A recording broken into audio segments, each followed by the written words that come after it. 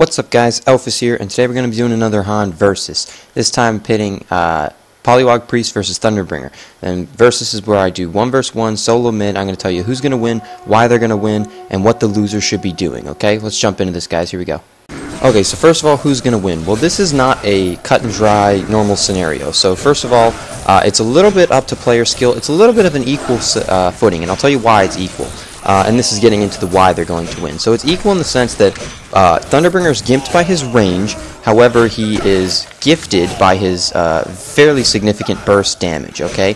Pollywog Priest does not have quite the burst damage that um, Thunderbringer has. He has a little bit with his uh, with his Jolt, and then he's got a little bit of uh, dot damage with the Tongue Tie, and, you know, of course, auto attacks. However, Pollywog Priest is gifted in the sense that, or, or advantage, advantageous, sorry, in the sense that he has the longer range by far. Pollywog's Priest range is approximately 550, 550. Thunderbringer is about 350, 350, yeah. Okay, so he has a 200 range gain on him.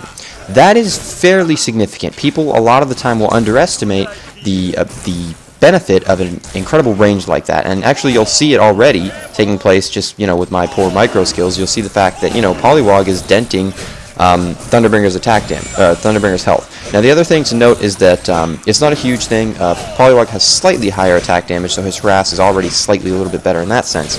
Um, however, what I will say for Thunderbringer is that Thunderbringer has a very, very, very significant amount of burst damage, uh, which Pollywog does not have. Pollywog is gimped in that sense. He doesn't really make it, he doesn't really cut it to the sense that uh, Thunderbringer does when it comes to burst. Thunderbringer, and I'll just briefly mouse over his skills, you guys can look at them in depth. He has quite a bit of burst damage for a, you know, relatively moderate mana cost. It's not, it's certainly not a tiny mana cost, um, but it is, it's a moderate mana cost that he can use significantly, you know, uh, more than Pollywog just spamming whatever he would like over and over again. Uh, his tongue, his tongue tie, or sorry, electric jolt is, is slightly more than the than the average cost of, of uh, Thunderbringer's skills early on. Okay, so not only starting with that, he has a little bit more mana. I'm talking, I'm referring to Pollywog, of course. He has a little bit more mana, but it really kind of equals out, or actually even I would say favors Thunderbringer more so because his skills cost less and and you know do more damage early on, uh, and actually overall in general they do more damage as well. He's more he's much more of a bursty hero than Pollywog is. Pollywog is more of a crowd control hero and a team fight hero. He does a very good job with present uh, with team fight presence. He also does do a fairly good job with ganking, uh, although. Um, if you have proper warding and such, it's it's not easy to avoid his ganks, but it's it's very doable.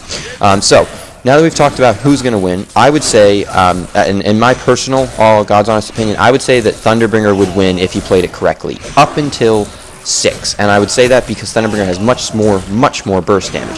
And a Thunderbringer, I think, skilled enough, could and should probably be able to kill Pollywog around four or five if Pollywog gets too ballsy and goes up too far. Um, I don't think he'll do too well when it comes to last hitting. I think Pollywog will win when it comes to last hitting um, because of his, you know, increased range, his increased um, damage.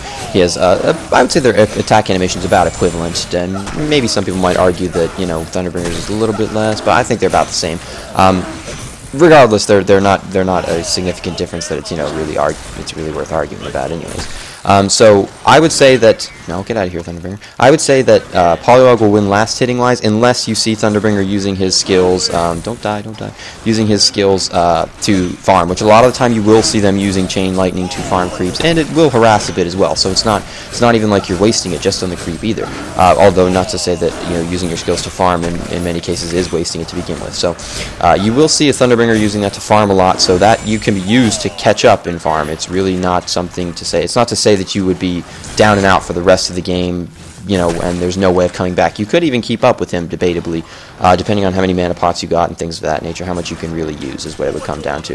Um, so I, I, personally think that uh, uh, Thunderbringer will win up to about 4 or 5. Once you hit 6, Pollywog could ease could easily win if he gets a nice uh, hex on him and then a, war, a, um, a ward trap. Uh, however, you need to be careful, Pollywog, because even if you get the ward trap on him, Thunderbringer can still probably nuke you down um, if you're not careful. It depends on how much health you have and things of that nature, but um, I'm going to go ahead and refresh him just so he doesn't die, because my poor micro skills, you know me, guys. Uh, so that's who's going to win. Poly I think uh, Thunderbringer will win up to about 4 or 5, um, where his burst is really just beating the crap out of Pollywog. And then I think at 6, Pollywog could most certainly put up a fight, and I think it would be a bit on equal footing, depending on who has more health, who has more mana, you know, getting off the full, you know, full spells versus not full spells. You know, see maybe you have creeps, things like that. You have a nice rune, things of that nature. Um, you do want to fight for runes, Thunderbringer. However, Pollywog should get all the runes. He should probably have a level in his um, Hex early on. Uh, sorry, Hex. It's actually called um, Morph. My mistake. Sorry, I'm, I'm used to watching um, uh, Hindcast, and I believe they call it uh, Hex and Hindcast. But uh, so he should have, um, uh, or maybe I've heard it somewhere else. Maybe it's Dota or something like that. I'm not sure. Uh, so he should have a level in his Hex, probably by four. Uh, in which case, at that point, you probably shouldn't be able to beat him to any of the runes. He'll just Hex you and, or sorry, morph you and run past, and then get the runes. You can damage him, of course, in the and and you know if it's worth it, you can try and fight him. Maybe if you get an, an if you can get out there before him, then it, it could be worth it to an extent. Um, but you know you you would probably have to get out there a, a decent amount before him to make it really. Um, advantageous for the point that you're going to beat him to it because uh, you'd have to get out of range of his of his uh, morph. So you should be fighting for runes if you can, although Pollywog should probably get them once he gets a level in that morph. Before that, though, you could you might not have it by the first rune, so you should definitely fight him for the first rune, I think. Um, afterwards, though, uh, it would come down to a bit if, if he wants to die. Once you guys hit 6, it's going to come down to a fight for the runes. You guys can easily, you know, do get out for the runes is the point I'm trying to make. So um, either player could win. You just want to pick, you know, intelligence fights again. So don't think that I'm saying, you know, you, will go kill each other for the runes. One of you will probably die and one will probably live. It's a bit up to, you know, it might depend on farm and things like that, um, you know, who's going to win. Regardless of who's going to win, the loser, in either case, the answer, and it, it, does come down to a bit to play and a bit to what level you are in these fights, you know, so, I mean, as you'll see, just the, you know, the base damage and um, the range, Pollywog is out harassing, and I'm not even really controlling the heroes, so they're just kind of auto-attacking the lanes. You'll see that because of the range and damage, Pollywog is basically winning the lane. And, I mean, I'm controlling a bit, but it's basically AI, and of course I'm not using skills and things like that, so there's things like that to keep in into account, uh, to take into account, sorry. But just to give you guys an idea of how, you know, it would come down to with auto attacks and last hitting and things like that. Uh, the other thing I want to talk about, like I was saying, um, whoever the loser is, regardless, the the answer as to what you're going to be doing is the same. Both of these heroes are phenomenal gankers, okay? They're, they're basically made for ganking. Regardless of which hero it is, Thunderbringer or Pollywog, their primary goal is to do work early on in the game. And by do work, uh, that's kind of like a slang term in America. It just, it just means to do their job, you know, beat, beat the crap out of people, really, um, which is their jobs in this game. So they're going to beat the crap out of the enemy heroes. Uh, for the first for the first you know 15 minutes of the game. That's really their job. And if they have a good start, they can even you know you know bring it into the late game.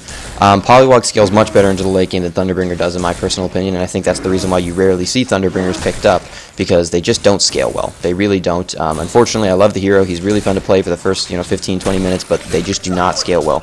Uh, it's not their um, they don't have they don't have any crowd control. Is the problem? Zero crowd control. Zero. I think they have a mini stun here. Uh, if I'm um, yeah, and a mini stun. Yeah, so they do have a mini stun there. Um, let me just refresh him one more time just so he doesn't die. So there, that's just it's just stuff you have to think about. Um, that's kind of why they you don't see Thunderbringer, my personal opinion.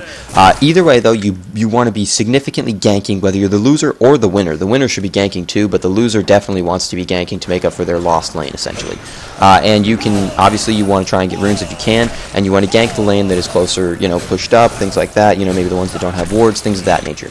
But either way, their primary role is gankers for the for both of them. Although you can use uh, Pollywog as a support too. Although if you're playing solo mid, you're typically not a support. Not that you couldn't be, I guess, but it's if you're solo mid, it's it'd be rare that you're a support. So uh, just just something to think about. So uh, I believe I've covered it. So thank you for watching once again. I know it's it's a bit of a vague answer for this one because the heroes are, are fairly equally matched in in their mid capabilities, and, and some people may argue some points here and some points there, but I think I've covered it to an extent that gives you knowledge over this. The point of the series is to just kind of help you pick, you know, heroes to fight mid, and, you know, if you see an enemy hero picked that's clearly going to be going mid, maybe you shouldn't pick a hero that's obviously going to lose to him, you know? So that's what I'm trying to get you guys to think about, so I hope I hope that's what you have thought about. So uh, with that being said, thank you for watching, guys. I hope you enjoyed it. I hope you learned something. Um, and feel free to submit any uh, requests. If you have requests as to which ones you want to see, then by all means, um, let me know in the comments, inbox, whatever you so desire. Um, and once again, thank you for watching. I hope you enjoyed it. I hope you learned something, and I will talk to you guys later. GG, well played, guys. Help us out.